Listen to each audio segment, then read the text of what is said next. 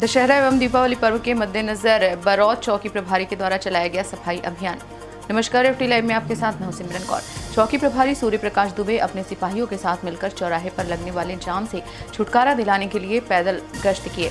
वहीं पर बरोद बाज़ार से दोबारा मार्ग पर डग्गा मार वाहनों एवं मोटरसाइकिल एवं ठेलों के चलते राहगीरों को काफ़ी दिक्कतों का सामना करना पड़ता था। इसलिए चौकी प्रभारी ने तुरंत एक्शन लेते हुए रोड पर खड़े अनावश्यक रूप से वाहनों को हिदायत देते हुए एवं कुछ लोगों का चालान काटते हुए निर्देश दिया। बीच रोड पर खड़े करने वाले वाहनों के खिलाफ सख्ती से पेश आते हुए सड़कों पर खड़े डग्गा मार वाहनों को हटवाया और कहा कि पुलिस चौकी बरौद क्षेत्र के अंतर्गत आने वाले हर उस एरिया पर हमारी पैनी नज़र है। कहीं से भी लापरवाही बर्दाश्त नहीं करेंगे और जनता को पूर्ण रूप से पुलिस का सहयोग देंगे। वहीं पर राहगीरों को जाम से निजात दिलाया, जिससे राहगीरों एवं व्यापारियों में खुशी का माहौल देखा गया। ब्यूरो रिपोर्ट, यफ लाइव।